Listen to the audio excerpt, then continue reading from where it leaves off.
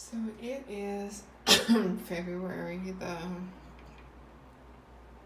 28th, 2021, and these are, this is my hand burnt from frequencies, still burnt from frequencies.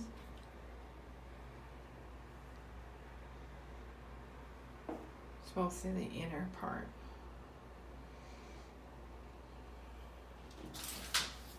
Now, a lot of this happens when I am asleep. It also happens during the day, so you can see it's pretty burnt.